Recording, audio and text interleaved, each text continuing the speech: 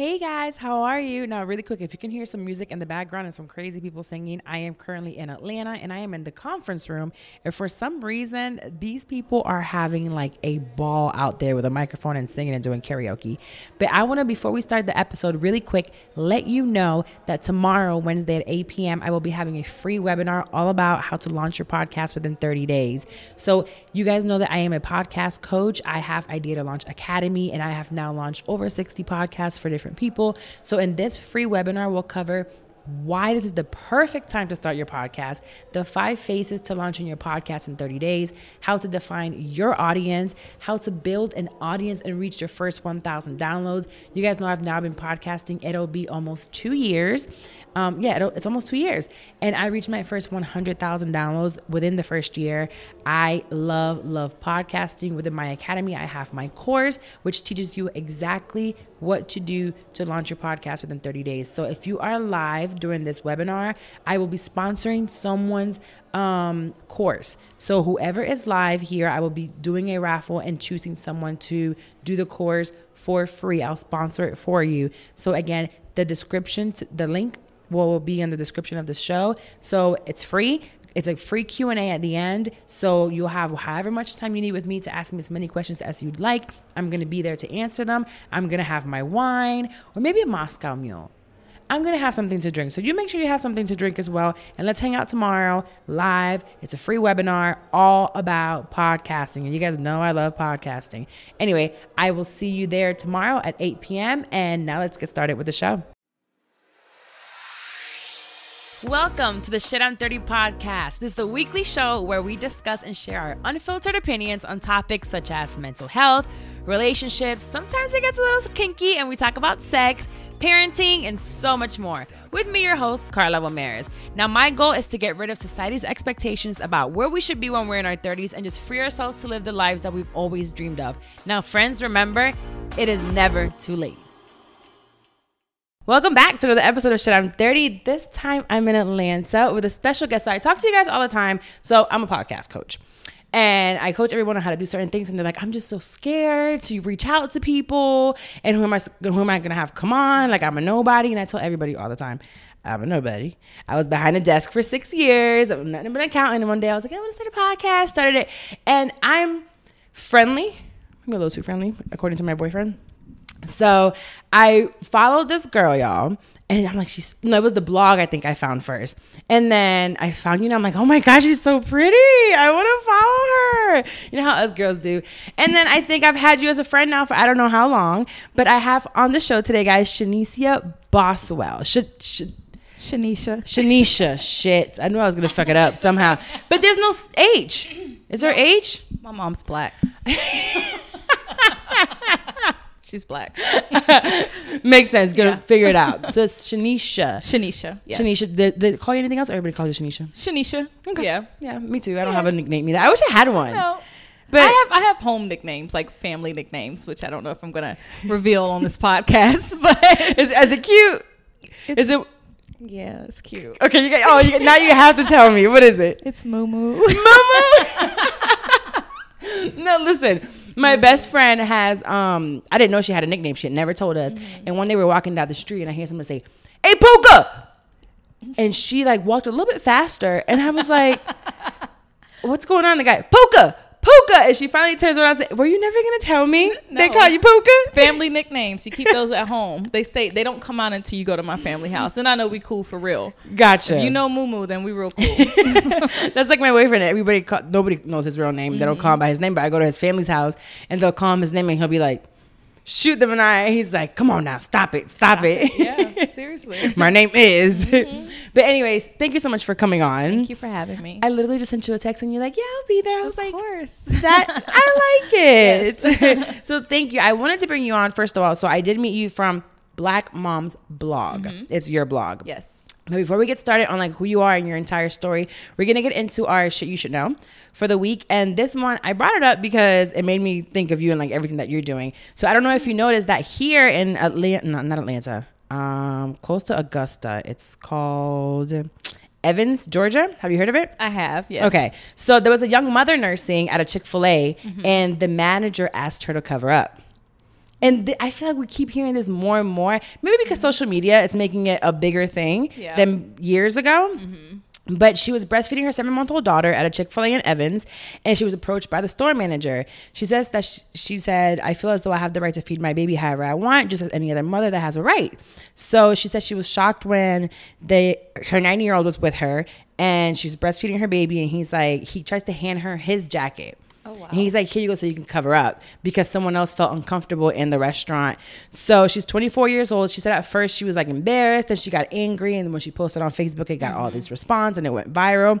So a bunch of women decided to go to this Chick Fil A Do a nursing. and breastfeed their babies. They did a sit-in. I love it. I was like, this is so dope. I don't have an issue with breastfeeding. Plus, she said she had a breastfeeding tank top mm-hmm. and like a shirt over it, so none of her skin was showing. That's so, showing. what's the problem? She lives in the South. So I am born Mm. and raised in Georgia. When you told me this, I wasn't even surprised. This is Really? the South. Like, we're still Bible be- belt. People come to Atlanta and they're like, oh, you know, Georgia's so great. But Atlanta's great because we're a melting pot. As soon as you step outside of 25, and especially Evans, Georgia, anywhere like, you know, in the country, Mm-hmm. you're going to get those responses from people. And it's not okay. No. You know, and I love the fact that they went and did the nurse in. You know, we do a nurse-a-thon every year, and it's for that purpose. We all come. Where do you all of our breastfeeding moms, and we pop a titty out. Um, well, not anymore. My daughter's seven, but Oh. so it, we host it. We host the event, Right. But we post it, but it's to bring awareness, and people wonder why. should. Yeah, like why is there so much online about breastfeeding? Because things like this still happen. I still can't believe that some people still look at a breast feeding Right. and still think of something sexual. Yeah. You know, I get it. Like, it a, a breast can A be breast can sexual, be sexual, but yeah. you're feeding a child feeding a with child, it. and you can't even see anything. That's the thing. When you look The baby's anybody, covering the nipple. Yeah, when somebody's breastfeeding, you don't see anything. All you see is a baby's head to mom's chest. Right. But it's the perversion of people's minds, and that's They're the such perverts. Part. Yeah.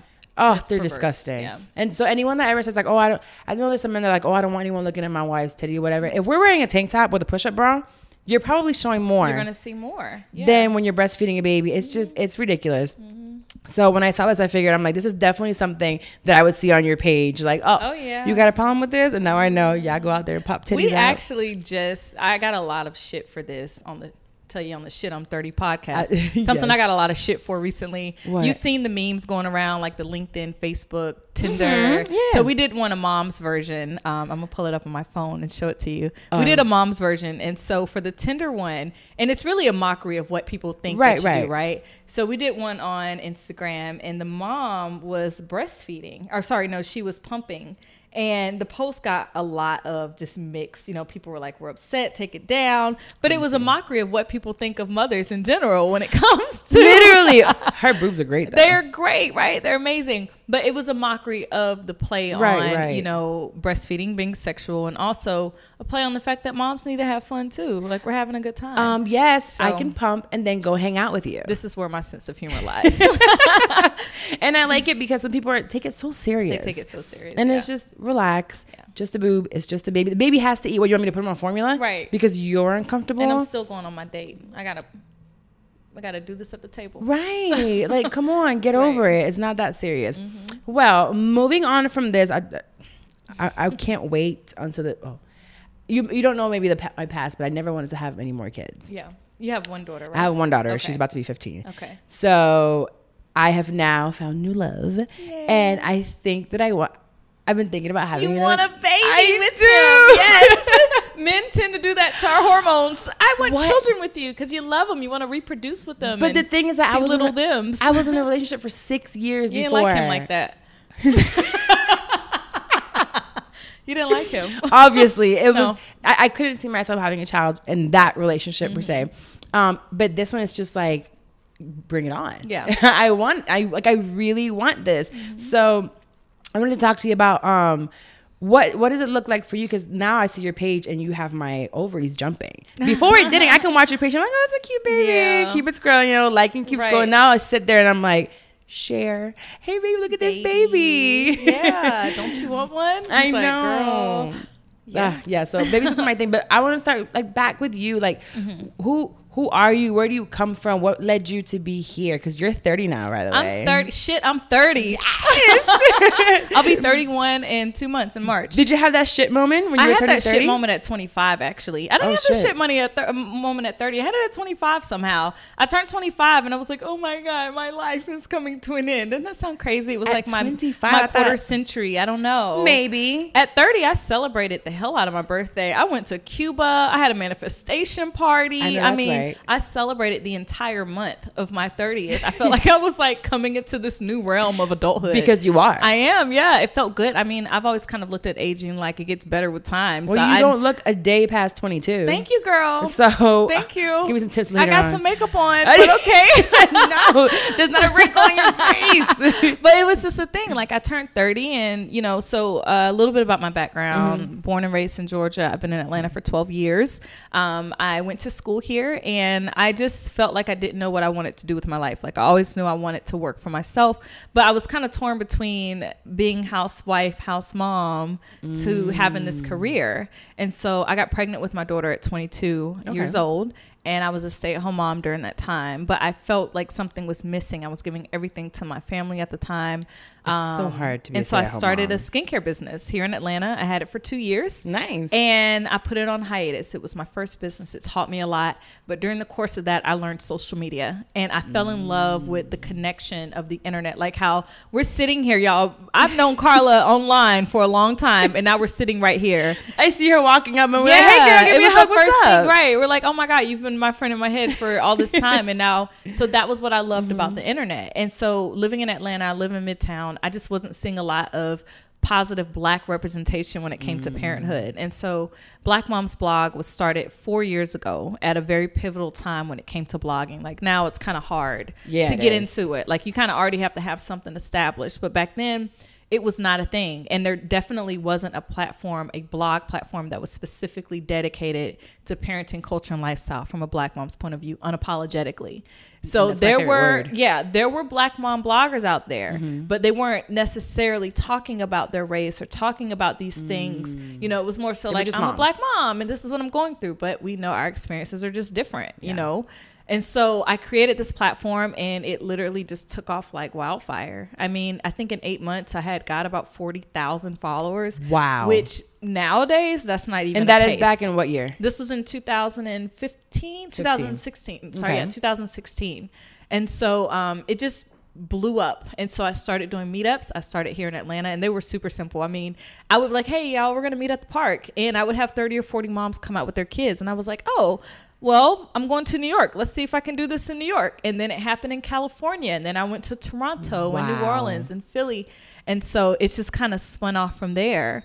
And then I started a retreat company where I would take these women on these self care retreats. But all of this blossomed because of Black Mom's blog. So, Right. That's there's a name to the retreat because you're uh, Yes. about to have one coming up, right? yes, I have four Well, coming up over the summer. kidding. Just four. Just four. and you're thinking about starting a podcast, girl. I know I'm not. Stop Listen, I told you I had my hand in eight pots. So Literally. right now the podcast is just sitting there in my mind, but it's a far off plan for me right now. I don't have the time. Yeah, no, that you have a lot going. on. Mm-hmm. That's amazing. That this is something that I I speak about all the time because some people think it's weird to Mm-hmm. create friendships online, No. but there are those catfish and those weird people. But I don't. Yeah. I feel like that's you can build genuine friendships with Mm-hmm. people off the internet, and it's so dope that you can literally. I'm so I've become a little afraid of meeting people. Like I don't know. I've gotten this like paranoia of maybe they're expecting for me to be the same person that I'm on the show at all times. Yeah. So it's like, am I going to disappoint you? Are you gonna be Beyonce or Sasha Fierce today? right. And I had my first live show. I had 110 people Mm-hmm. seven months in. So I'm hitting two years now and I haven't done one again. Yeah. Or a meetup or anything like that because I don't know. I'm just, I'm scared. You know what it is though? I I used to have that anxiety. Like I would Mm-hmm. do these events and I would have all these women come out and I would find myself the entire time trying to go to each and every person. Are you okay? Are you okay? You're having a good time? Are you okay? And by the end of it, I would be so exhausted. Drained. And someone that I really admire, um, she had an event a few years ago and I went to her event and I just kind of watched how she moved Mm-hmm. and I realized that when you have an event, you let the event run itself in the sense of if you're inviting hmm. 50 people into a room, those 50 people are going to converse. They're going to talk. They're going to meet their friends. You don't have to be everything. You don't have to hold space for every single person. You create the space and then allow people to, you know, talk and communicate and you know meet each other and you just kind of Right. sit back and you enjoy your event from that space. So every event that i do i carry that mindset now. I'm like hey you know i'm at this event but i'm also a participant so Right. i'm gonna relax. I'm gonna sit down i'm gonna smile and say hi i'm gonna go speak to some people but i'm not going to try to control and i think it's a control thing. In your mind you're like freak. i need it to go well so i need to go check in with every single person. But if you just kind of sit back and watch you're gonna notice that people are going to naturally just talk to each other. My therapist used the word perfectionist instead. I like You're your not a therapist. control freak. freak. You're, You're a just a perfectionist. yes, the state of all mothers. Yes, which comes Mm-hmm. it comes with a downfall because I have to learn how to let go. Yeah. Like right now I'm trying to figure out how to delegate certain things. So I have a new Oh girl, God, Jasmine, yes. Mm-hmm. shout out to her. I know she listens to help me with certain things. She's like, I'm going to help you. But even now I'm thinking when this show is over, I'm supposed to send her the audio. I'm like, do I send it? Do I just do it myself? it's so much easier if I do it myself, you Right. know? Mm-hmm. But I need to learn how to delegate certain things so I Yeah. can grow myself. Right. So anyway, you move to Atlanta, you become this like person everyone's looking for as black moms. Yeah. like that's. I became that's the so- black mom of America. When Oprah said it, I was like, boom. Wait, Oprah said that no, you? okay. Oprah didn't say that, but I was on OWN Network. Oh, For let me clarify before Oprah comes for us. No, Oprah verbally did not say this, but I did get invited to do OWN Network, her network, Right. um, as a, as it relates to motherhood. That's So, Oprah. That's Oprah. I just you know Uh, not no. out of her mouth. no, she she was thinking it. She was thinking she it, thought yeah. it when she when they brought Her you people on. said, "Come, Shanicia, Yeah, we're calling you because we're Oprah said you." so. Yes. Oprah said so. so you had um, what's your daughter's name? Cameron. Cameron. Mm-hmm. You had her at 23. I, had had her at 23, at yep. 18, which is really young. Yeah. But I know I've heard you talk about this loneliness as a mom. Oh my When you first had her, because I, I mean, I was a little bit younger, mm-hmm. but 23 is still young. Yes. So it's like, what, what, what was that for me? It's, it sucked. I left the church. I didn't, I didn't relate to her friends' parents. They were Right. all old. They were older. Even nowadays, mm-hmm. like going is like, I'm now I'm 32. It's like, oh, you're a regular age. Yeah. But to have a 15 year old, their parents are in their 60s. Right. So, or in their 50s. Mm-hmm. So, how was that for you being like that lonely state? Because I feel like that might have also driven you to create this community that you created. Yeah, exactly. So like getting pregnant at 22, I always related to it felt like being pregnant in high school because it was Really? a different type of school. I was in college at that Mm. point. So while my friends were graduating and at that point everybody was traveling around the world and going to parties, I was pregnant and breastfeeding and you know being home with my daughter. And so it was hard because I had to is kind of like re I had to reframe my mind and learn to Mm. carp- um, compartmentalize my friendships. And so I started to look for new moms to hang out with. It that was a reason behind Black Moms Blog as well, is looking for people that look like me that I could relate to that Right. were also in my age group. And I realized that my friends that I had before then, it wasn't that they didn't matter anymore. They just fit in a different compartment. They were Right. still important, but it was time for me to make some mom friends because I knew how important it was to build that village. Right. And even when I talk to moms now and they're like, I'm so lonely, and I'm like, well, who are your five closest friends? And they're naming people that party all the time, or it's like my life isn't like that anymore. I needed Right. people that I could relate to. But and this is really important, not just to moms, because I know general, business that I have everything. I, had this on Patreon with my friend um, Jenna, and we were talking about friendships and Mm-hmm. making friends in your 30s. And so not only you're young and a mom, but now you turn into your 30s and maybe you're thinking about business or you Right. get into a relationship or or you be, start a family and you realize those friends that I was hanging out with, they're still partying. Yeah. They're still hanging out. They're still going on dates. And now you have a different life. So you have to put Yeah. them in that in that section of your of your life. Well, when I decide to go out once a month or whenever yeah, it I'll see them I'll then. call them. And then also, as you become an adult, you're less, um, you're not forced into, I guess, like group situations. Mm-hmm. Like, you know, most of your friends are from school or from college or from Right. work. You're placed in these institutions where you have closeness. Mm-hmm. And when you hit your 30s, especially if you're an entrepreneur, you don't have to come outside if you don't want to. I so you don't. have to be very intentional about friendships and you choose who am I spending my time with because I don't have to see you. You know what I mean? all. Like I don't have to see you. I have to, you know, actually make a plan to see you. So you're not being forced to make friendships anymore. So you become more intentional about who you spend your time and with. that's and that's the word being intentional about who you because my time is worth a lot Yes. so i tell people like i think it was recently i did um a speech uh, a public speaking engagement, and they were telling me how you know I learned how to do everything for free on Google, and it's like yeah, everything's free, but then I said at the same time it's not free. No. because it took me months. Yeah. to learn what I'm doing now. One of my favorite quotes, you've probably seen this meme, and it says, if you're paying me for something, you're paying me. If you're paying me for something it takes me 30 minutes to do, Mm-hmm. you're not paying me for the minutes. You're paying me for the time that it spent. It took me to learn how to do that certain thing. Correct. So if it took me 10 years to learn how to run this podcast efficiently, but I can teach it to you in, in an hour, you're still paying me for those 10 years that it took me to learn this craft. Literally, like what has taken me to lead me here two years later, I'm teaching now people to be able to do it in 30 days. Exactly. Without the microphone issues that I had, without losing You audio. trial and error. Oh my Yeah. gosh. And let me tell you, mm-hmm. there were a lot of errors, mm-hmm. which I'm sure with you, same. Like you're starting, putting on events and doing how many, how many things that you fuck up really? Oh my God! I've went through three different websites. I have went through. I mean, just a handful of things. And, I, and, and, and yeah, it's more than a handful. It's a ton. I've went through a lot. Time spent, Right. hours, everything. So it takes time to get to this point. Yeah. So going, um, like to finish off on the friendship aspect of it. Mm-hmm. And the mother aspect of it, when you become a mother, when you become a wife, when you get into a relationship, whatever it is, you have to kind of switch those friendships. Yes, and it's not get rid of them necessarily, unless they're bringing you back or they're not accepting who you are now evolving into. Because I don't think it's changing. No, you just see you're evolving, Right. And you know, people are like, "Oh, you changed." Well, I hope so. If you're the I same person that you were when I knew you five years ago, there's a problem. Huge there's nothing problem. wrong and anybody who is challenging you on that you know maybe it's time for you to rethink about their friendship. And of course there's constructive criticism and things like that. but you know if you're if you're growing in your life and you've gotten into a new relationship or you become a mother if you started a business and people are trying to hold you accountable for who you were four or five years ago Right. it's time for you to rethink your friendships and relationships with that person. It just is. It's over. Yeah. I have to now like take that into consideration because I feel like my last six years in a relationship, I was very um I did whatever the hell I wanted to do. Mm. I said, I wish you would tell me no. so I mean I had like my things it's like, oh, you know, he'll come out with me, but a lot of things have changed for me now and I Yeah. I can't think of it I think of it as is it making me better. Mm. You know, am I doing this for the better of me? Am I moving forward? And I know with you, you've had this persona or not persona or this narrative Yeah. Mm-hmm. of a single mom for so many years.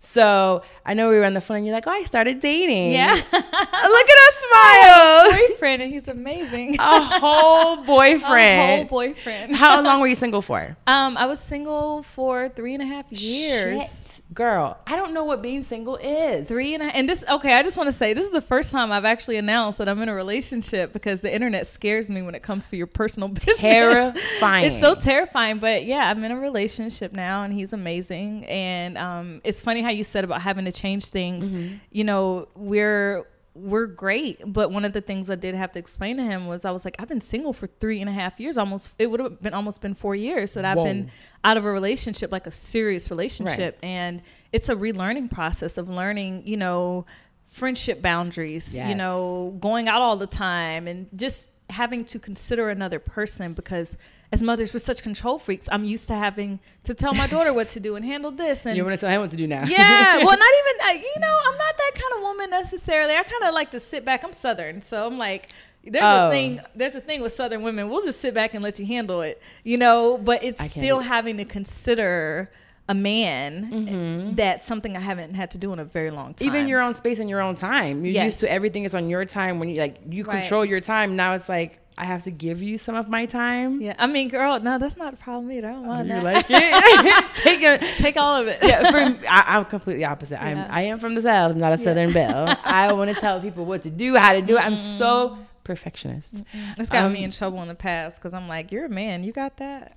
Oh, Oh, my man, you definitely got that, right?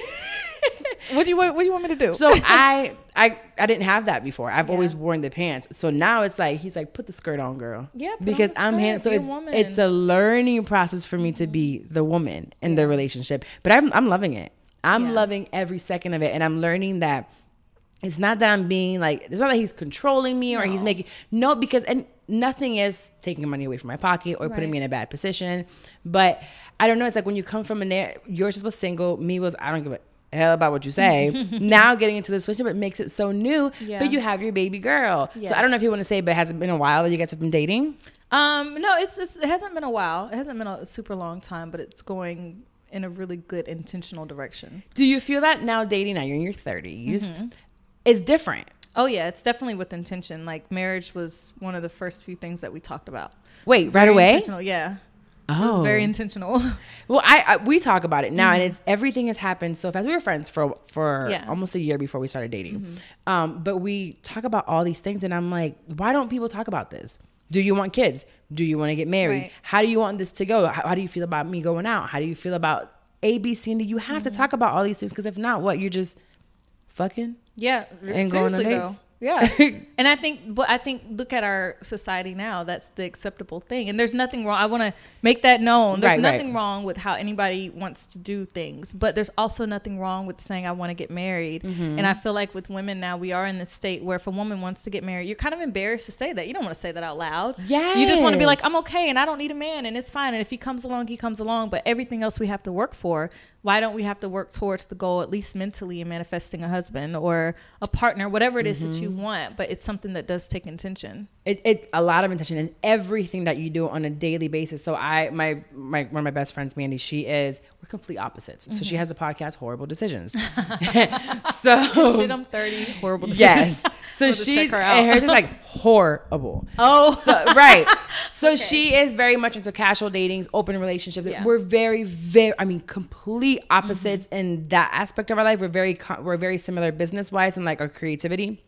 So she's just like, I was telling her, you know, my boyfriend and I, we're building a business and we're doing things from the ground up. And he's like, has all these ideas. And I'm like, all right, I'll build it with you. And they're like, nah, I want a man that's just gonna be like, the business is here, go ahead and run it. right. No. But I'm like, I'm okay. To, so I was with her and a friend of hers, and they were telling me, um, so basically you're his mom. So you're now like, no, I'm, I want a partner. And you got to be careful of that too. Like, you know, what you do in your relationship is your business. Mm-hmm. You'll never hear me go into the depths of any relationship because that's my Right. Personal business. And, you know, the way that we operate in our relationships, if that works for them to do it that way, and if it works for you, Right, don't let anybody try to convince you Oh, how, no. you know, it's like, no, I'm not his mom. And that's very offensive, anyways, to even say. Well, I don't get offended. I don't get offended easily, and I let when I speak on certain things, I don't mind other Yeah. people saying whatever. I just be like, I Right. like it though. I'm happy. I'm You don't have to so carry that bag. happy. I'm cool carrying that. Right, okay. right. I like it, but I want. I say this because I know there are women out there that have those friends that are so different. Yeah. and it's totally fine It's to okay, yeah. want to be immersed in that relationship if it's good for you, if, it's it's, you. building you. Now, if it's somebody that you can't go out, you shouldn't do this, you shouldn't do that. We got into this into the conversation where I, I would drink this past time I drink a lot, and I like to drink, but now he's like, "How about you like hold back a little on the alcohol, and drink Right. wine more?" Yeah. And I was like, well, you know what? You're right. And I've actually felt better. Yeah. I still have my drinks. It's not like he told me not to drink. So some people might be like, is he telling you you can't drink? No, he's actually trying to look out for my health. He's actually looking out for my health. If, if, if it were if it were um and we're all in the sisterhood realm right now which is great but Mm-hmm. Love if it. it. were your female friend saying to you hey maybe you know you want to not drink so much Mm-hmm. it'd be oh great she loves you but if it's your man He's the narrative you. is he's controlling and it's like no and one thing that my boyfriend said to me recently he was like i'm your man not your enemy and i was like okay what do you say okay You can't say but anything you back. can't say anything back. Like you have to trust that the person that you're with is looking out for your best Right. interests, and you have to consider them. And That's the biggest life. thing. Do you trust that person? right? Do you trust that person? If you trust them, Right. You know, Nothing anybody else has matters. nothing anybody else says is gonna matter. It you just doesn't. gotta move what you got. but I'm do. so transparent with my relationship just because I know there are people that are going through the same thing, maybe getting judged or saying you're moving too fast. That's another big one. You're moving too fast. Bitch, I'm 32. I'm- and he's 36. What the hell you want me to do? Wait Right, what 40? you want me to do? I did an episode where it said, so I'll ask you the question. How long do you think you have to date someone before you know like they're the one or you expect at least to be engaged? Um, I think that you can know right away if somebody's the one. Mm-hmm. And I say that because, like you said, in your 30s, you move with intention. Very much. And so, honestly, any two people can work if they both put forth intention and consideration. Mm-hmm. Anything can work. And I think relationships work best with goals. Yes. So, you each have to have goals together and goals separately, things to look forward to and work towards. And as long as you're doing that with each other, I think that it can work. So, to that question, yes, I think immediately you can know if somebody's the one. And I feel like as a woman, you should put a year on engagement. Oh my God. I said the same thing. I said a year. A year. For engagement. And eight by the 18 months, you should definitely like I I said 12 to 18 months. Mm-hmm. I know if I want to be with you or yeah, not. Yeah, you know right away. And people they they're together for four or five years, and then they're like, oh, Or it's not working out. Six this years. We're together for six years. Oh, it just wasn't working out. You've spent all your good years. Now you're tired of each other. And now you go. If I you're was married, a bad bitch in my, when I was like 28, 29. You hear me? Nobody got to see that because I Nobody was in a to see that. relationship.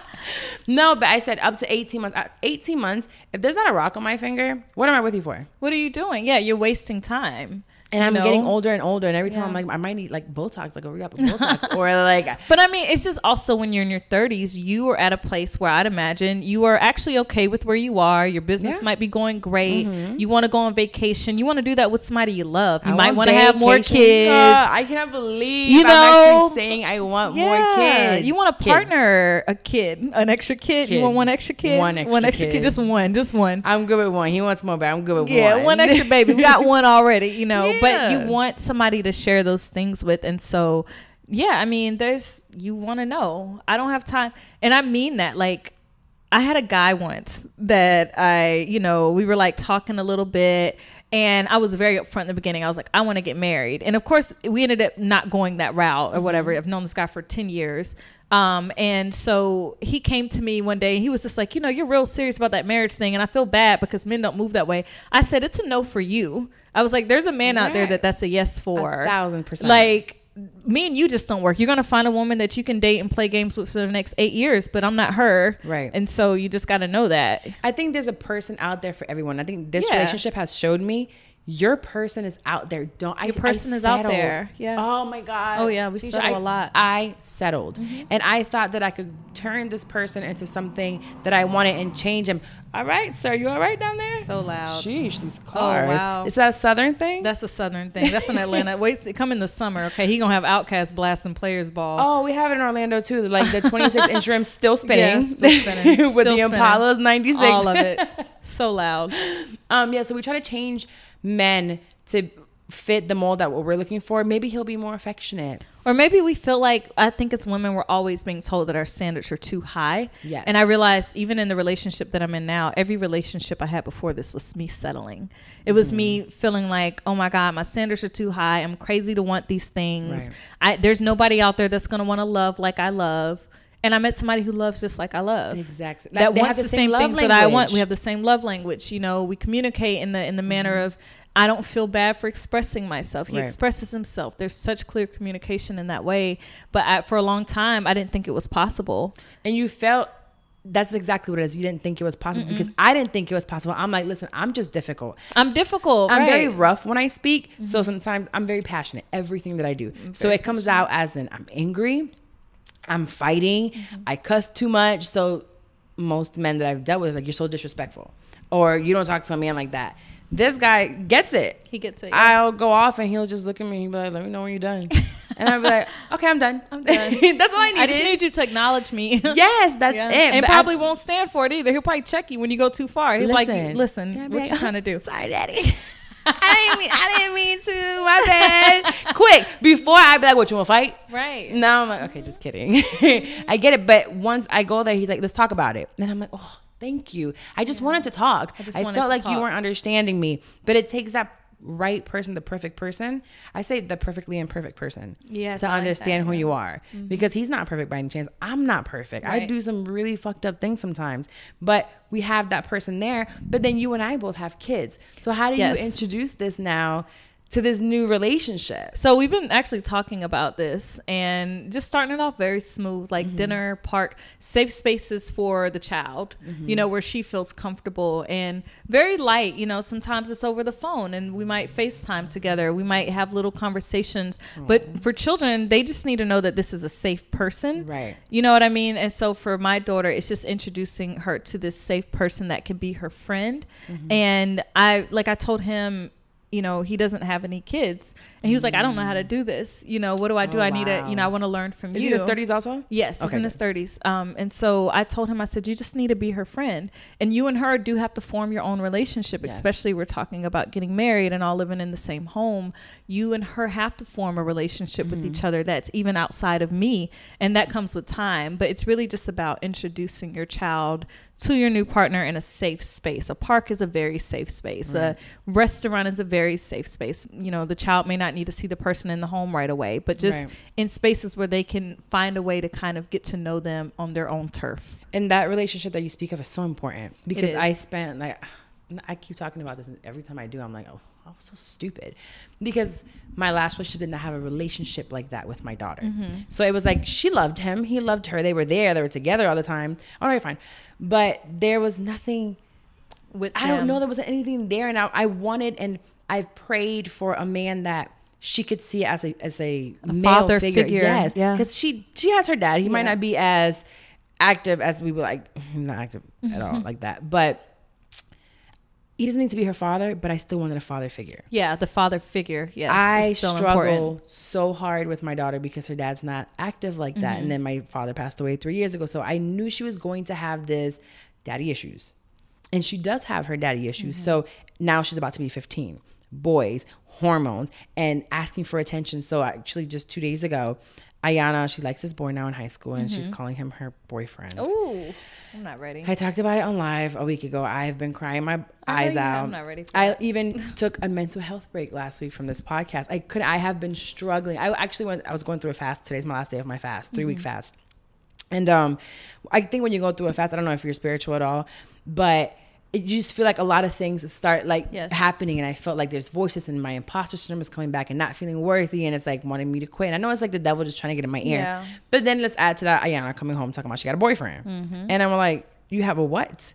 With who? For what? I'm happy she told you. so she's very opening. That's what he's telling me. He's like, at least she's talking She's to talking us. to you. But they've created this bond over the past seven months that honestly makes me cry every single time Aw. because they're talking and she's like, you know, guys, I love you. And then I, he's we're on speakerphone, but at one point he takes the phone and he's talking to her for like five minutes, and I was like, no one, not her dad, not my ex, like not my father, never got the chance to gets to speak to her like that Right. you know and i was like this is all something i prayed for and i didn't think it was possible because we think as single moms that's not their kid I think, and when it comes to dating, a man isn't just when you're dating a mother. Mm-hmm. You're not just dating her. You're dating. mm, That's not the right word. You are forming a relationship with her. It's a child. package. It's a We're a package package. deal. Yeah, and so a man has to understand that coming into it, like you said, Ayana may have her father, but you are also Mm-hmm. serving as a father figure to her as well, and she has to be able to trust you. Yes. and you have to be able to trust him because you're all going to be under the same roof one day. yes It's that's so the biggest thing important. especially with a daughter Yes, you have a daughter and you're introducing a, a man that's not you know biologically her father. Shoot.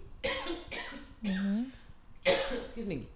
And you we hear all these stories and we have to be so careful and i know you're dealing with all these mothers i'm probably we probably hear horror stories of what can happen. So to me i'm always very wary of that but she does have like recently she, I was she was in trouble. I whooped her ass. And she's just like I want to talk to Wax and calls him crying and then they're like well let's pray about it. I'll talk to mom and I was like I had I didn't even to be, need to be around and I felt comfortable with it Right, so yes. I feel like don't whoever's listening out there in a relationship where they don't feel like they have that bond don't settle for that, that that's not the person Nope, if not at they can't be close to you and your child Right. They have to form their own separate relationship with your child. And I, I grew up with a stepfather. how was that relationship We're great. And I'm not going to lie to you, it hasn't always been great, but Mm-hmm. not because of not being close. There were just personal things that happened within my family. If he would have been my father, it would have been the same way. But Right. one of my favorite memories of my stepfather, his, my mother and him, they got married when I was in fourth grade, fifth grade. And when he used to come home from work, we'd sit there and like do the bills together. You know what I mean? Aw. Like, and so my stepfather, like I said, I'm from the South. He's very country, you know, he pays the bills, he does the yard, he take that's how he shows his love and affection. Right. And I've always kidded with him because as he's gotten older, he's got much more emotional. Like he cries on the phone now, and Aw. you know, it's very cute. But um, you know, we went through a period where we didn't talk for a few years because of something Wow. that happened. And when I got pregnant with my daughter, I went to him and I was like, "Hey, you are going to be her grandfather, right and I don't need her asking me why we don't speak." Right And that's how we rebuilt our relationship. And that was seven years ago. kids bring families together. They do. So I have when my daughter was born, I feel like my family. I was rebellious as hell. Me too. When. I was in high school. oh my God. Mine was fighting and like just I was so defiant, especially towards my mother. Her and I have never had this close relationship, although because my dad and I were so so close, and my dad was an amazing dad, not the best husband. Yeah. So I was just like him, and I think I reminded her a lot of him. So for whatever reason, we've never been like the closest, but we were still a close knit family. Um, my dad was out here being a hoe, or doing what he's what he would always do. But my daughter brought this sense of closeness to everyone. So Yes. everybody got so close because of her. Now my father passes away. We haven't I haven't spoken to my mother in two years, over two years the relationship is just the family's just broken. And now i have a really hard time thinking of having a new child. One having a new baby without my father having a baby without my family. Mm-hmm. So is it is this baby going to do the same thing that my first one did? Right. could it do it? Could it not do it? Oh my I can't even talk about it for long because I feel you start. on that. I feel that way too. i do you have your biological father? No, okay. Mm-mm. my biological father was kind of around, but not really. You know what? No, I'm giving him way too much credit.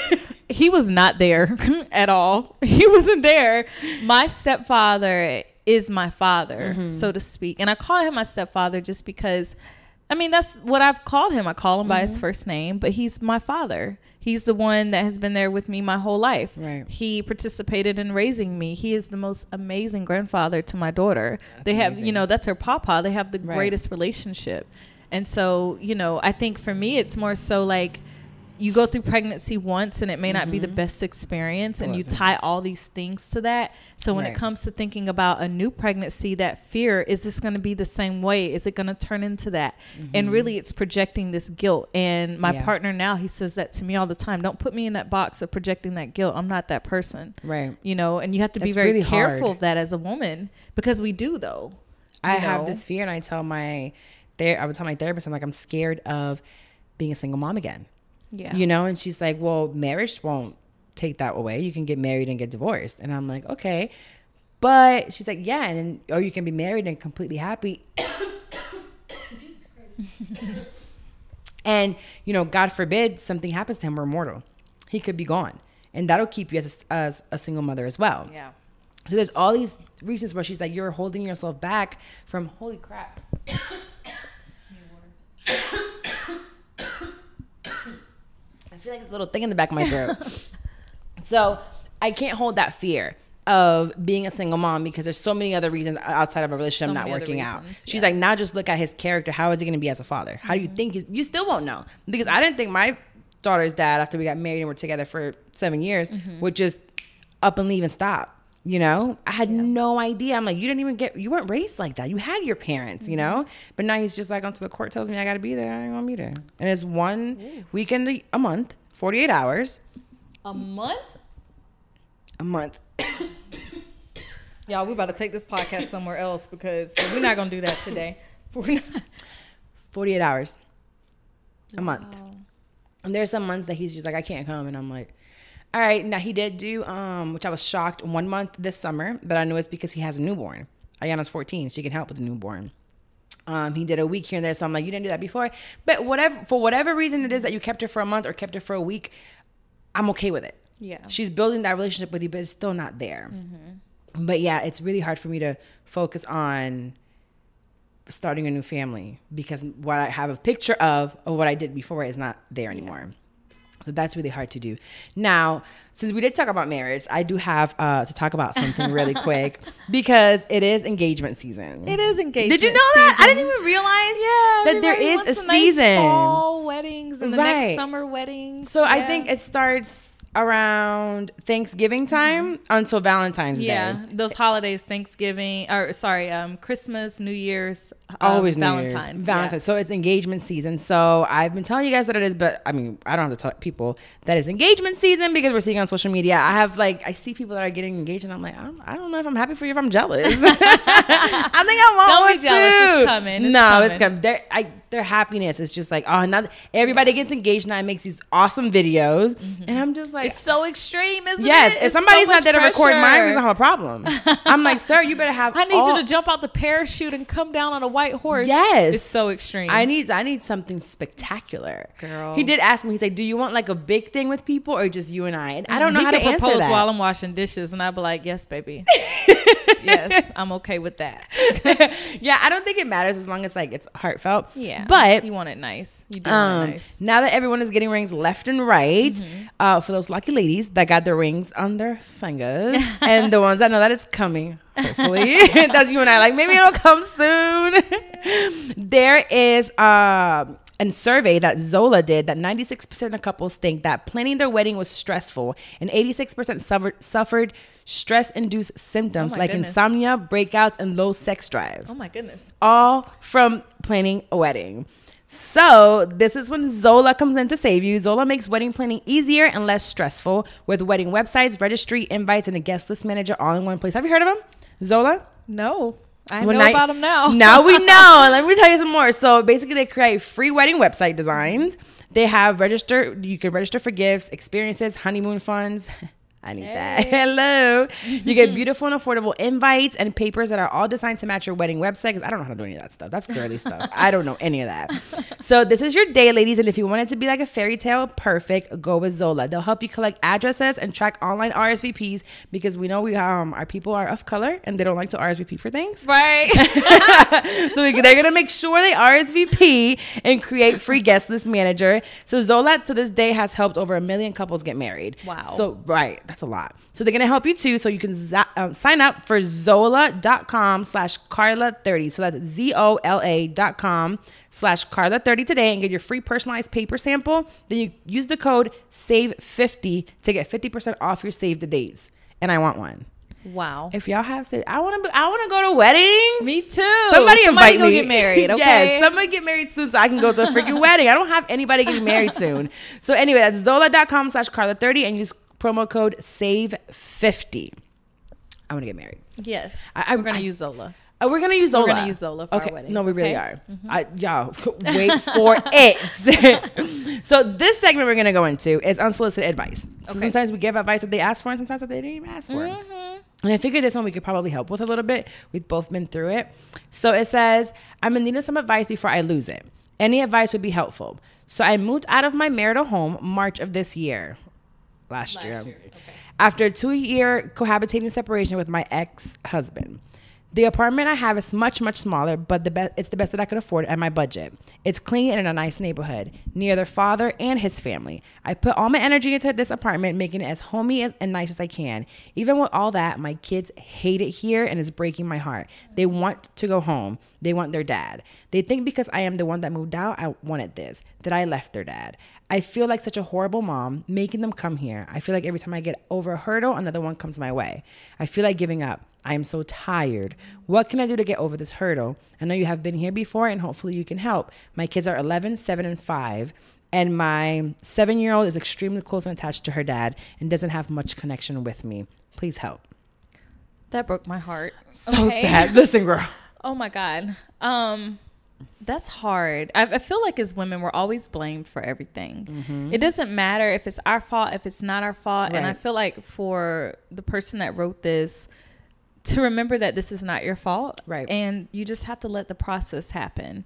Because the thing is with our children, we're always trying to save them from this this version that they're gonna see of us. We always want to be the mm-hmm. perfect mom. Yeah. We don't want them, you know, because we all have our issues with our own mothers at points and times. And then we say we're going to have kids and they're not going to have those issues with us. And just accepting the fact that they are. They're going to have an issue and there's nothing that you can do to change that. But she has to just continue to walk with her head up high Yes. and trust that they'll see her being a great mother and one day they'll understand. It may not be right now in this moment, but eventually they will understand what's going on. And she just has to make that- sure that she's mentally strong through this process. You have to be strong, especially for the kids. Ayana was um, around six when her dad and I separated. And for years, she's like, blamed me. So she wanted daddy around, you know, why did you leave him? You need to buy daddy a house. And I'm just like, what? Because he used to play this whole broke martyr, like, oh, I don't have any money, and blah, blah, blah. I'm like, yeah, right. Well, driving up here in a Lexus. Okay. Anywho, so she would blame me for a lot of things. And she, her dad was Superman. And I'm like, you haven't seen this in so long. Right. And you're blaming me for all these things because you're with me 24 7. So basically, I had to learn one day. One day she'll get it.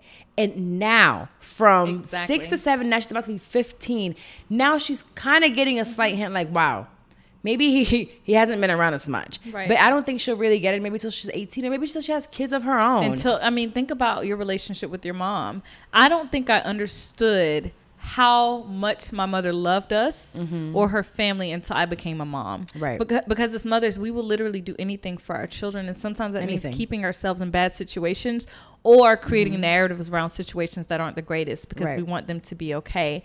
But at the same time, that's providing a false sense of security, you know? And so I always say, you know, you don't badmouth the other parent, but your children will can't. see what's going on after, you know, it might take them some time and And it's not know, for it them to is. see anyway, because No, the kids don't right. need to They're know who not- they left need who, why they, they why you love guys, both of their parents. right. So it's just they can spend time with the dad. Just they will like this place. It's just gonna take some time. Like if you leave this nice house and you end up going to an apartment, it's just something different. It's You different. you probably could have left to even a house the same size. Mm-hmm. That's still not home yet to them. It's gonna take time to be home. And the seven year old, And it's really about the dad. They're leaving dad. That's it. It's not really I- about the house. It's when I dad. start, I'm like, there's Yeah. there's no material thing that can take away going to sleep with daddy in the house. If I were her, I would also consider putting all of the family in group therapy. Yeah. Her and the kids, not the ex husband or whatever, but her and her kids maybe need to go to some form of therapy. Yeah, therapy's so important, and we don't talk. I, I talk about it a lot on here because Mm-hmm. I struggle a lot with mental health. And coming from my family, a very like I was born in Puerto Rico. I came Mm-hmm. here, and it's my parents. I was called crazy. You know, my anxiety, my ADD. I'm just like I had issues Yeah. or my anger problems. That was the no. I'm an extremely anxious person. Oh Extremely my anxious. gosh. I have. we are like the same person. I'm so telling you. anxious all the time. Like yesterday, when we go into the shit talk, I'll talk about. it, But yesterday, I was a, a wreck, Mm-hmm. and it's just I start creating all these scenarios. My therapist tells me I live in the future, Mm-hmm. so I always live in this fear of maybe failure. I live in it's all these fears, all because Yes. I'm not thinking She of today. oh, sh- sh- she's amazing. And then I'll be like, I don't know why I'm paying you. I know all these things, but she has to remind me. I'm like, everything you're telling me, I know, but you got to tell me. That's why I won't go to therapy because I'm like, I already know. I just need to implement it. actually they help you implement it. So it's not only the fact that they're telling you, they give you steps that you don't even think of. So when I moved to New York, I had I would come to I would go to New York every month, right? And I would come back and get into this rut when I get back to Orlando, and it was so I would get so depressed. And she noticed this trend, mm-hmm. so she said to me around February, January, she's like, "This summer, what do you have going on?" I'm like, "Nothing." She's like, "Well, why don't you move to New York for the summer?" I'm like, "I can't move to New York." She's like, "Why not?" I'm like, "I can't have a kid. Can't you stay with her dad? Can you take her with you? There's no school." I literally made a decision to move to New York because my I never would have accomplished so many things I did if it wasn't for her. So she comes up with like little things here and there. Why don't you try this? Why don't you try things that I wouldn't even think of? Right. And then it gives you that plan for when you see her in two weeks or whatever, uh, however often. She's you like go your see good her. angel, but you don't have a bad angel on the other shoulder. Right. Once you're in there, I'll come in there and I'll cry, and she's just like, "Why are you crying?" Well, let's figure out why. Because I had when I first started therapy, I had two um, emotions. I was happy or I was angry. That was it. She gave me this wheel, uh, emotions wheel. I felt like a fucking idiot. But she's like, look at this wheel. There's like a thousand different emotions. So you just like start with angry and then you like go to the next level and there's like these six things that you can choose from. And then from those things, you choose another one after that. And I'm like, oh, there are all these emotions. Why I feel angry. Me, I was just angry. We are gonna fuck you up. Yeah. I was ready. I was happy. And then I wanted to fight. Yeah. So yeah, going back to this, just it doesn't matter, you know, what's going on with the children. They'll get over it. They'll get over it. They'll and honestly, as raw as you just said that, they're children. Not saying that they don't matter, but I also think we've created this narrative around children that they're glass and they're going to break at the first sight of conflict. happen to them. They're not. We were, you know, everywhere that we were raised were not was not always correct. Right. You know, we're learning our mistakes, but we're strong people because Right. of that. The children will be okay. The more you try to m- keep them fragile, they're never going to be able to handle conflict. And unfortunately, Can't divorce too is- much. You can't shelter them. Divorce happens, and Right. hope you know we all hope that it doesn't, but it does. Right. You have to allow them to handle their own emotions and don't negate their emotions. Understand that they're allowed to feel the way that they feel, but they still need to remain respectful. some people are like, you know, you need to let them. Some people, certain races, but you know, they let their kids just, you know, they have to express themselves. You know, they have their own Within mind. a respectful way of my house. There's a realm. yeah, there's a realm of, of expression. or don't control your kids. It's not control, but I'm going to tell I'm you going right to from parent. wrong. Yeah, Yes. you're not. I don't care how upset you are. You aren't going to talk to me any kind of way. You're not going to scream, yell, or curse. You're not going to act out and say it's because I'm hurt. Figure it out, right or I'll figure it out for you. with his fist. Somebody's got to figure it out. Right. There's we have to just be careful on I feel like how we're raising our children because we're raising what are, it's going to be a next generation of adults. We're raising victims. Yes. Everything now, we're raising victims. Everybody's so fucking sensitive. Yeah, everybody's so sensitive. So we're raising sensitive. victimized children to get It's like- offended, and you just can't. Like life happens, and this world is not perfect. You have to. You live in an imperfect society, imperfect Yes. world. There are things that's going to happen. Deal with it and keep going. That's it And. I always say that we're not raising children. We're raising children that will be adults in this society. Mm-hmm. Yes. You know, and things are going to keep evolving then. They're gonna keep I know evolving. Ayana has come to me sometimes. I hate this teacher. Take me out of this class because No, deal I with will it. not. Yeah, I no. Mm-hmm. will not. You will have bosses maybe one day. You will have employees maybe one day. They're impossible to deal with. You have to learn how to deal with this conflict. If this Yeah. teacher is an asshole and doesn't let you go to the bathroom, you make sure you pee before you're in this classroom. right? Exactly. And you have to be very intentional when you go in there. She doesn't want you to talk. Shut up. yeah, seriously, that's all it is. That's it. You're gonna come across people. I can't. I can't curate the world to be Right. perfect around you. If I move you out of that class to an easy teacher, what's gonna happen? You're happen gonna end up in a class where now you don't like the person who's sitting next to you. I mean, it just it never. It's always going to be something. You have to learn how to think above that. I completely. That's literally my um, idea when it comes to parenting. Right. And my daughter have a very well behaved child. Mm-hmm. You know, she's seven years old. She's also a Libra. That might have something to do with it. I love Libras. But you know she's a very well behaved child Mm-hmm. and it's in her nature to be that way but also I don't play games with her like that, and I'm a very fun parent. Yeah, but when I say fun. sit down and be quiet, I need you to sit down and be quiet. I don't care how cute you are. Right. You know what I mean? I don't care what you need expressed. If I'm talking to another adult, don't interrupt me. Right. You know. So, and I feel like now those things are like, oh my gosh, I can't believe you tell your child that. Like, what do you mean? She's a child. seven. You know, how does she feel about this? She feels fine because she's seven. You know, so I think remember this. it's always time and a place, and because of Right. that, she's a very well behaved child. Like I don't have problems with her. I had well, Ayana was very well behaved until she still is, but now you know, as a teenager, is We're where women, now it. challenging everything. Shit, I'm thirty. she challenges everything. But I do remember that stage of seven, and it's just going from stage to stage. You'll go from 7 Mm-hmm. to 10, then to 12. Now, for me, it's 14. Then we have to learn. I have to learn it. So I don't know if you've actually read this book for when you get there. Um, have you, you've heard of the five love languages? yes, I've read Well, it. I push really hard. Yeah. I have for you still have a long way to go. But the five love love languages of teenagers, Mm-hmm. and I've been now I'm reading again because there's a lot of stories. I know the sun is intense, um, but it helps a lot with learning like the love language of a teenager. But they have it for kids as well. So like to learn. What their love language out. is. He's Yeah. so good. Well, anyways, we're gonna go our last quick uh segment, and it's my shit talk. Yay, shit talk. I was on shit. so one really quick, we were talking about it before. I'm here in Atlanta, and I know Atlanta has amazing food. You got, we're, like it's known for the food. It is. We have good food here. Well, I woke up. I woke up super early. Had some consults by 7 a.m. My friend was sleeping, so I went downstairs to the library of the hotel, and I was like, "Hey, girl, wake up. Let's go to Waffle House." She's like, "All right." I'm like, "Get ready. I'm so mad here." you came to Atlanta and went to eat Waffle House. That's I just so wanted something really fast and That's come so back to keep working. I, I don't know. I just figured there might be one close. I'm like, let's just go to Waffle House. I really like Waffle House. I don't know why. because it's real food. Waffle House is good, Waffle House is but so it's Waffle. House. I love There's like the dirt- 45 different options. The dirtier the Waffle House, the better the food tastes. Not it's here. just it's a don't want that in proven fact. No. if your waitress is missing three teeth, it's gonna be fire. it's gonna be so good. Well, we went to this flying biscuit place. She's like, "Oh no, no, no, let's go to Flying Biscuit. It's a. I used to live here. That's where you go. They got the best up." All right, I was just hungry. Whatever. It's breakfast.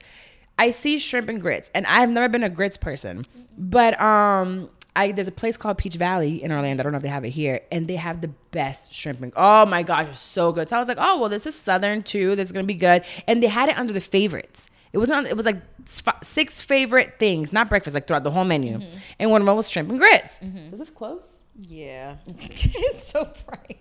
You see, it's like coming. There we go. Okay, I can it- see now. I was going blind.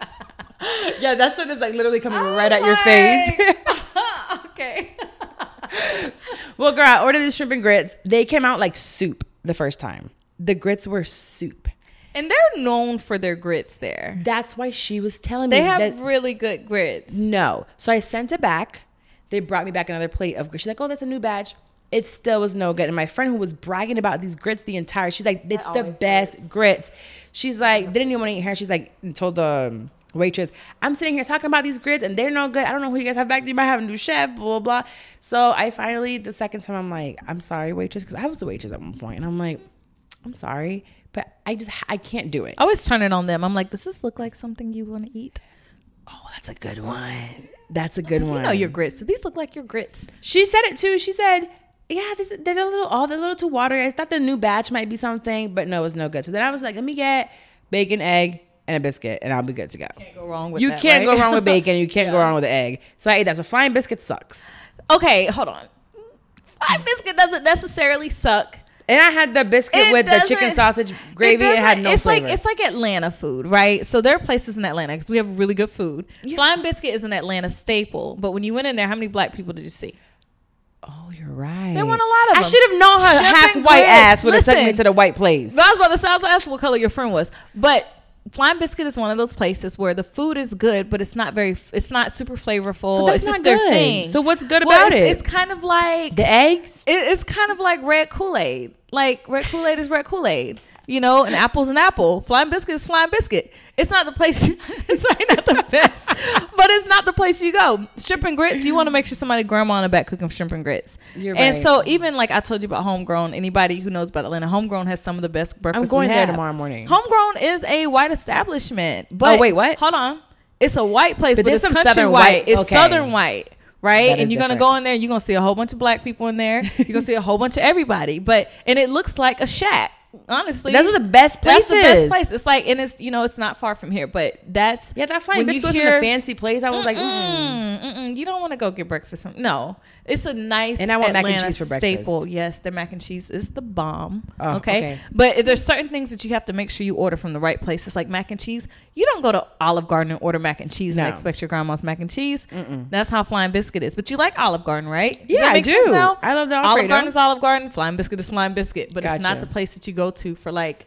Shrimp that's never grits. a place I would tell somebody to go to and be like, "That's Atlanta's food." No, it's Flying Biscuit. that's it. That's for y'all locals. yeah, that's just Flying Biscuit. Sometimes it's just sitting there. Okay, Yeah, so there. that I'll try homegrown tomorrow. I was really upset about this flying biscuit. Really, mostly towards Mandy because she was I'm hyping it up. that you ask somebody who don't live for no more about food. If she ain't She currently was, in Atlanta, I didn't even she ask her about it. I food. said Waffle House, and she's been here for seven. I should. She don't even eat. if you go out tonight and y'all are looking for food, you're gonna wait 19 years. But it's a place called Escobar. It is in it a shack too? No, Oh. it's in Castleberry Hills. I don't know But you're gonna wait an hour and a half for your food. Nah. But they have so, or call ahead of time. They have the best, the best food. What's it called? Escobar, I believe it's Escobar. Escobar. Yeah, it's Escobar over in Castleberry Hills Okay, I'm off Peter look it Street. It's really good. See. I love to eat. Like Me I'm a fat I'm a girl at heart. Ooh, love it. So the other only thing that I wanted to talk about was I saw it a lot, and I I am releasing these tomorrow, and I didn't want to touch too much on the whole Kobe thing because it's Mm. everywhere. But I did want to touch touch on one aspect of it. You Mm-hmm. know, the episode I posted um today for mindful monday does talk about being grateful and i've been wanting to do it for about two Mm-hmm. weeks i've had this gratitude over life in the past like a couple of months, but especially in the last few weeks when I felt really low. I've been really, really low mentally, and I've been trying to get out of it for the past couple of days. And I decided to just be very grateful in the mornings when I wake up. So y'all can listen to that other episode. So I'm not gonna go into that. But I started seeing a lot of memes because you know right now all social media is Kobe, and saw some posts about how the rest of the families that were on that helicopter weren't being acknowledged. People weren't praying for them. Then I go on live and someone was upset about it, and I get it. But at the same time, Kobe was Kobe. And I want people to understand we lost someone that impacted the world. Mm-hmm. Those people, don't get me wrong, the rest of the the victims, they're not victims. What are they? The Mm, I the- mean, they're victims of the crash. yeah, the victims Yeah. of the crash, I guess. They were important. They were the world to their family. They were the world to their friend. Mm-hmm. So I don't think anyone has not not thought of them. It's just they didn't impact the world. So when I lost my father, my my world stopped. You know, he was my world. I don't expect the Staples Center or the Empire State Building to you know have my father's name on it. Mm-hmm. So we have to understand. And not I think now social media gets so fake outraged over course, things. Excuse yeah. me, just to do a post, mm-hmm. just to say, "Oh my god," and be different. Like we, oh my goodness, we just saw a meme about how Kobe and his daughter had the same birthday. They created a whole meme. It was a lie. I was like, you guys just want clicks. You want something to post, something to say. So I think it would suck for that family that those people were their world for you to say, hey, they're not being acknowledged because they are. They are. They, I think they recognize that who they were on that helicopter with mm-hmm. was Kobe Bryant. What's Kobe and his and his daughter who are were on the limelight? Like Vanessa posted them so often. Mm-hmm. That relationship to me, he I think he came here for so many things into this world to create such, such an impact. Mm-hmm. But I believe that he was one of those great men that showed that relationship between a father and a daughter. Yeah. And I have such a a soft spot in my heart and in my entire life of what a father and a daughter should be because I had I, you have a daughter? I have a daughter that doesn't have the relationship that I had with my dad. So it breaks me apart every single day. I blame myself every single day. I feel like anything she goes through, I have to like patch it because I wasn't able to give her that. Mm-hmm. So Kobe showed so many men nowadays, you know, this is how you treat your daughter. You didn't have to have a son. God did not give him a son. Right. You know, and I saw an interview where she people would tell him in front of her, like, "Oh my God, you need a son to carry the legacy." I don't know if you saw it, like, It's like I have all these daughters. How do you just disrespect my family? Right. So they would tell her that, tell him that in front of her, like who's gonna carry your legacy, and she would tell him, "I'm here. I got this. I'm do. I'm the legacy." And now they're both gone. It's like to me when it first happened or we first heard about it, I was at this live show, this business show, and I told Mandy when it first started reports a daughter might be there. I said to her, "It was that one." I know it was that daughter. I know they were together. And I bet you had something to do with basketball. And she's like, Well, you don't know, it could have been the other one. I said, If That not, I wouldn't hope because it's not a hope or I'm not happy that it was her. Those aren't the words. But if it would have been anyone, it had to have been that daughter. You know, like that that was that bond. So I don't want anyone to think anymore, you know, that that family is not being recognized or acknowledged or no one's praying for them because we are. It's just the impact in our life that Kobe Bryant, especially for our generation, Yeah. is huge. yeah, we were we grew up with him. We definitely grew up with him. So, you know, it wasn't necessarily talking shit to y'all. It's just I saw that and it, it didn't sit well with me Yeah. for us to do that. So, has anything happened to you recently? You want to talk some shit about it? Anybody piss you off? Any, it, anybody say something? Mm, here's the thing. black woman starts you. with, here's the thing. It's so funny. I was talking to my friend about this today. We were talking about irritations with people. As an entrepreneur, I don't have to leave my house. So everybody that I spend time with is by my choice. Very much so. and I stay home, especially when it's cold outside. I don't go outside. Who wants to deal with this? And so it's kind of like when you're home for a few days by yourself and you walk into a grocery store and you have to talk to people and you're like, whoa, this is different. So no, I keep a very low temperament, but it's by Mm-hmm. choice. I don't I don't have to go out and entertain with people that I don't want to be around or I don't Not have to all. sit here and answer to a boss. I answer I am the boss. And you know what I mean? And so everything that I do in my life is literally I try to keep it by intention. As you should. So I have kept a very low stress pole. I think uh, January, February is always tough for entrepreneurs because it's so slow. Mm-hmm. And so every year I freak out around this time and I think my whole world is melting. I'm like, my business is falling apart. Nobody wants to give me any money. I'm broke. I'm poor. I gotta go get a job. And so I start to freak out. Literally, It I freak out. Every year. Oh, And out every year, every year, I'm like, oh, you know, not planning for this time. Thank God, I can plan to be financially okay and everything Mm-hmm. taken care of. But I freak out every year, January, February. And you would think this is my sixth year being an entrepreneur in some form. So you know it's you going would think that by fine. now I would like let It's it go, not. but no, I still freak out about it every time. Um, and so no, I don't have any shit to talk. I'm trying to think. Do I got some shit to give y'all? Here's some shit. Give me some shit. I'll give you some shit. Okay, here's my here's my 30 year old shit. I'm in a place of peace, and anybody who interrupts that peace, I get rid of them. I don't even like hesitate. I'm not trying to figure it out. I'm just like, mm, that's not working out anymore. And you might think I'm the biggest bitch on the planet. and I've been, you know, it's one of those things. But at this point in my life, if it does not fit into my life or if it brings me any type of, uh, any feelings of, Goodbye. of anything, you got to go. And so recently I was kind of put in a situation like that with someone that I knew. And it, it I was just like, hey, sis, wish you the best, but gotta go. and you have to. Yeah. You can't compromise. Like I still do that sometimes. I compromise like my Yeah. own peace, and I have to be a little bit more sort of like I don't want it, but I mm-hmm. don't leave my house. yeah, I, don't I, I have my studio at my I'm house. very much a homebody. yes. I, if it's not food or the bus stop, I'm normally, especially in the cold. Wait, you don't drive? No. I Why? Live in, I live in the city. I What's live that in the mean? city. Everything. I work from home. My daughter goes to a great school. The MARTA's right across the street. I take Uber. I live a block away from Whole Foods. I don't go anywhere. Stop. This is a trip for me. Okay. so you don't like you don't have a car to get No. it. You don't go on road trips For what? There's airplanes. Anything over four hours, I'm not. You're right. Yeah. I mean, but I can't. Oh, it's so hard to not have a car. No, it's not. Not when you live in the city. It's like New York. Maybe. Like so so I didn't have a car for the three months. I was in the train the whole time. Mm-hmm. So if I'm where I live in Atlanta, you know, being here, Atlanta can be pretty spread out. But if you're in the city, everything's right here. Okay. And because I work from home, there's literally coffee shops, there's restaurants, there's you know what All I mean. walking distance? Everything's walking distance. okay, that makes It's sense. close. In New York, I didn't miss a car.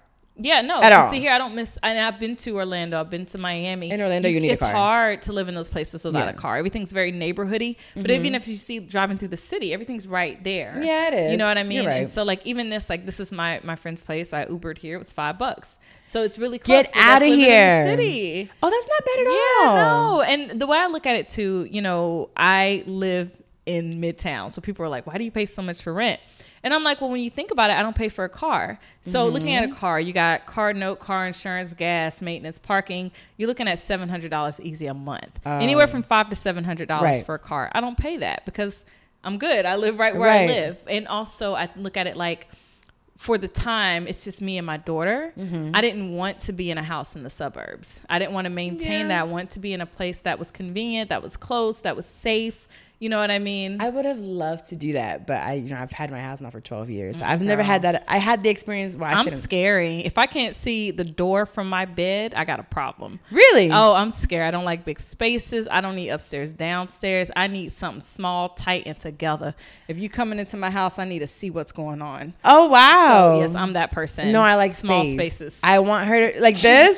no, I want her to be out of my space. So my apartment, it's a little bigger than this, um, and we have another room, but it's set up. It's like a one and a half Mm-hmm. bedroom. So when you walk in, the front is like a studio. I have a big bookshelf that divides, and then my bed is all windows around, and then we have a tiny little hallway, and then it's my daughter's it's room. like a like a big city place. It's a big city place. I've It's been perfect. like this, and I went to somebody else's yesterday, and it's all these windows. yeah, we have so windows. We do beautiful. windows here. I have windows that surround my whole bed area, and so I wake up to the sun. I go to sleep to the moon, and it's perfect. Like, and that's for No me. And I'm on the tenth floor. It's just like this. It's high up.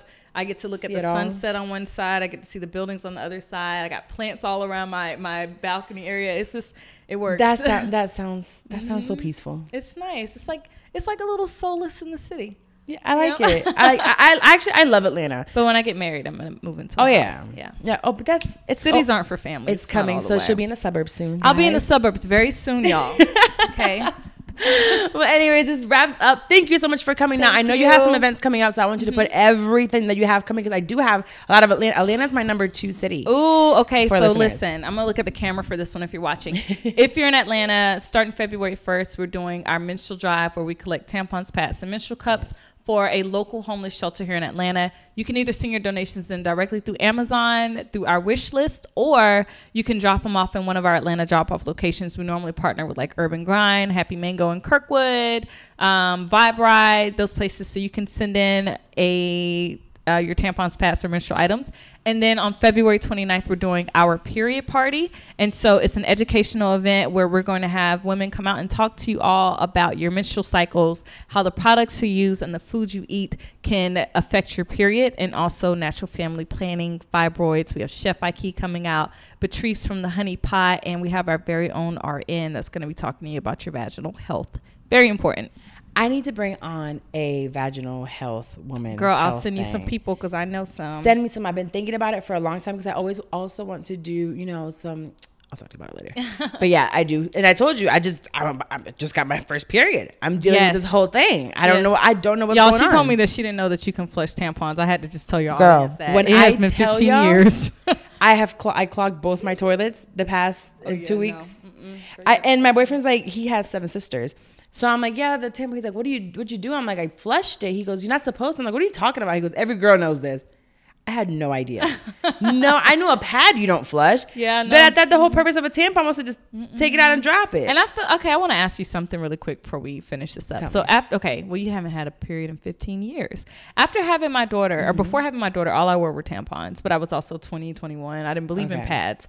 And after having my daughter, my vagina was just like no, and so I started wearing pads. Um, But then pads were irritating me because I didn't know, but the ingredients in certain pads were causing irritation. Right. So I switched over to natural pads. Then I switched over to the menstrual cups. Do you feel like after having You've a child? those? Oh yeah, I love them. so I had a C-section. Oh, okay. So you had no issue. Yeah, so I'm still a virgin. it. Oh, okay, okay. Slid. I was like, wait a minute. What did you just say? okay, Mary. All right, Mary. Nothing's ever come Nothing's out of ever thing. come out of my I've vagina. I've never had sex. Listen, I had a natural birth. No, I would love to have a natural birth. So uh, if when if or when I decide to have another child, I'm going to see and go the route of finding maybe a doula or, so, or a doctor that would help me yeah. have a natural birth because I had an awful like experience with my C-section. Really? Yeah, The it's only- super tiny, but it was bad. But the only thing I think about a C-section is when I was pregnant, I was like, oh, I could have them cut it out because then everything will stay tight. yeah, but mine was emergency. I meant to have a regular, so it was emergency, Yeah. but it was tight. But It does it really get loose? tight? No. No, I it goes that's, that's definitely, I think, something that It's women myth, are told. right? It's a myth. It's a muscle. I'm doing Yeah. Kegels right now. we start talking about it, I start squeezing. So it's a muscle. If you're feeling like it's a little loose down there, it's a few things. You can do your Kegels. And also, it could just mean that you're not properly turned on enough. Because when you are, your vagina naturally contracts. It- like, it's like, woo, I want to keep that. Yeah. so your body, you know, when women are, and I'm, I know we're going in a whole different element because I could talk about sex all day in the right. Really? Yeah, when it comes Oh, to vaginal health for women and Oh. teaching women how to properly orgasm and feel like because we have sex for, with our partners and it's all about them. Oh, it's like, no. what about me? That's this is what I love about this new relationship. This man is a thousand percent a pleaser. I've never wants you to had come this. come first. Yes. Okay. a million times. It's just like he doesn't even. He's like, as long as you're good. And when I mm-hmm. tell you attention from head to toe, I never thought that was possible. Oh yeah. It's, it's very possible. It's, it's pretty fucking amazing. I was like, but I've it never takes had you learning before. your body too. A lot sure. of women don't know. They don't look in the mirror. They don't touch Mm-hmm. themselves, and those toys are the devil. What? Girl, Huh? toys. They ain't gonna say they all the way What? the devil, but they're you gotta stay away from those. Think about friend. it. Think about the fact that if you use a toy, okay, I use them together. w- together. That's good. But for women who, let's say, are single, who aren't in relationships, and all they want to do is pull out that that that uh, vibrator, Mm-hmm. That's all I do. and it's like this is the, it kills the sensation down Listen, there. when and I tell you. I have gotten to the point before where I would use it so much that if he touched me, I didn't feel nothing. you it was like he was touching my elbow. anything, Literally touch my vagina and touch my elbow, same thing. Same thing. And so you have to kind of be careful with the You do have to be toys because careful. it'll it'll kill the sensation, and you're wondering why your partner can't make you come. Your partner doesn't require double A batteries. okay, the vibrator is killing your life. No, yeah, I because I enjoy, you know, my new partner now. I try not to. I'm like, he's Yeah, like, oh, stay away when from he's because we're long distance right now. So mm-hmm. he's like, just use. that. I was like, you know what? No, Mine is I don't want to. too. Is it? Yes, Yes! we have so, We have so much in common right now. It's and so I still corny. stay away from the toys. I tried to. No, I still. Yeah. He well, see, he gets the. He just gave me a whole box of toys, and every time he sees me, he gives me a new fucking toy. I'm like, stop it, Stop with the It's his thing, but he's sponsored by like a toy oh, thing. Oh, so yeah. he literally, I just, I was just there a couple days ago, and he busts out this whole bag of. I was like, what are you doing? We're not using that one or that one or that What one. What does he do? Never mind.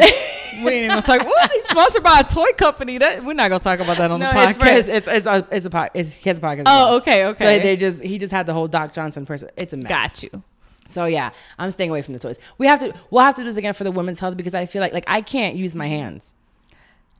I can. I've never been, I've never been able to. Literally using my fingers is like touching my elbow too. You literally have to start over. I had to deprogram my brain from toys and from porn a little bit because I got to a point where I was like, "Oh, I want to watch porn." And I, I talked about this on one of my on my retreat last year, and I mm-hmm. told the women was we talked about pleasure, and mm-hmm. we had a whole session on orgasm. at my Really? retreat, yes. And so I told them because a lot of times like we're envisioning maybe something we've done with somebody else or we're watching porn. And without that stimulation we don't know what to do. And i tell women to have sex with yourself like you're having sex with somebody else. Take a nice hot bath light some candles put on some sexy lingerie and lay in the bed and just touch yourself. Rub on your nipples rub on I your body a little bit. You, you're gonna it's a it's a relearning process. And every time you do it you may not come right away. It might feel a little silly but you have to just sit there and you know feel around your walls like just touch yourself Mm-hmm. until it starts to feel good because it will but it's a training process and i would say Ooh. literally twice a week have sex with yourself Twice make it week. romantic okay and then after about some time if you're having a hard time How long do you think it'll take to rewire your brain? i mean sometimes i can masturbate for 30 to 45 minutes no, no, no. I mean to Oh. rewire. Damn. Listen, let me tell you something. You know how long it takes me? 30 seconds. No, see that's the problem. 30 seconds. I- You're I'm missing all the foreplay. You're missing because you're going to with the mindset of I have to come. Yeah, I You're turn the going into I fast No, forward. the- exactly. I fast No. forward to the middle where it's going Where ham. it's going ham, right? 30 and seconds you're like good. you're planning in your brain. You're like, I have to do it now, but you you're missing the foreplay, and that's why your fingers don't feel good. because uh. and when I tell you that's a whole different kind of orgasm. Really? Oh my god. it's a whole different but it works in couple situations because think about it when you're with your partner you don't fast forward to 30 seconds you want it to last all. but if you're not used to doing that with somebody because you're not even used to doing it with yourself you don't know what feels good so you have to think of an orgasm not as the end goal but the mm-hmm. best part of the orgasm is leading up to the orgasm because the orgasm is only what 30 seconds Literally. it's 30 seconds and it's over. You think I want to feel good for 30 seconds? I want to feel good for 45 minutes. And that end goal, I'm just going to sleep. I'm out. yeah, yeah. Uh, so. I, there's, I'm opposite. The second that it's over, I have so much energy. oh, no. I have. If I have too much energy, you did a bad job. If I want to No, go ride I'm my bike you, afterwards, we sweating failed where I can't walk, but I'm like, ah. It depends. I, I feel that. Okay, that's that's he yeah. is like It done. depends. He's like life is over. Yeah. And now I'm like not energized where I want to go run a mile, mm-hmm. but I'm just like, let's talk. yeah. Let's watch a movie. Let's so how things. was this? Yes, let's play a game. No, let's like again. Can Or- we do it again? Yeah, I'm gonna get a no. Can we do it again? I get the give me a minute. You know, a minute means in the mm-hmm. morning. Yeah. Oh, no. give me a couple mm-hmm. hours. I want to keep going.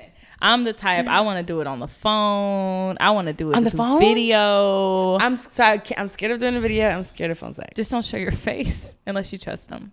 Um, oh, like sending videos. You Mm-hmm. mean? Oh, I have to work on that. Oh, I get so shy. Yeah, but I'm telling you, give yourself twice a week, and I think it would take not long, maybe like a month. I'll say maybe. To it took me, yeah, it took me a while to rewire my brain, but after that, I kind of left the porn alone. I left the toys alone, and I have a toy, so every blue moon I might pull it off. I Pull it just want some quick like that, Right. But I literally prepare my mind for masturbation, I'm gonna start rewiring. rewiring. I'm, I'm gonna like unplug and rewire and see how long this takes. and your vagina responds differently. Because you know I'm always in my head. So it, when I've tried Mm-hmm. Me it, too. I'm in my head so. I'm like, so- yes, and me too. a minute, and I'm like, this is so stupid. Yeah, it feels I'll just wait till I get some dick. Mm-mm, just I'm telling you, just don't don't have coming as the goal. Just kind of keep Okay. it in that, you know. All right, we'll do Yeah. that. Well, Another- thank you for coming on the show. I, this ah, we can talk forever. We have so much in common and we didn't even know. well, guys, thank you so much, and I will see you back next week. Goodbye. Bye. So that's a wrap. Thank you so much for tuning in to the show this week. I hope you enjoyed the show. If you would like to connect with Shanicia, I have all of her information tagged on the description of the show. Also, don't forget that tomorrow, Wednesday, uh, January 29th, 8 o'clock, sign up for the free webinar on podcasting, how to launch your podcast in 30 days. That will also be in the description. Make sure that you share with your friends and also tag me on social media or tweet me. They're both at Carla Bomers. I seriously love to hear um, what you have to say about everything, what you enjoyed the most, what your thoughts were, even what you might even disagree with me on. Like, say, hey, girl, I hate the fact that you said A, B, C, and D, because y'all know I like to debate somebody. but no, just let me know. I want to hear it. Don't forget to rate and review if you haven't yet the podcast.